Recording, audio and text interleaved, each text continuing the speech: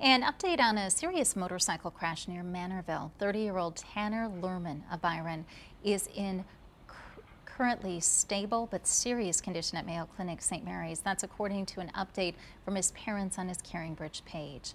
In the crash on Tuesday night, Lerman suffered a significant brain injury, two spinal fractures, a broken jaw, and a broken shoulder. He is going through major surgery soon to stabilize his head and neck, and doctors are telling the family that the next 24 hours will be critical.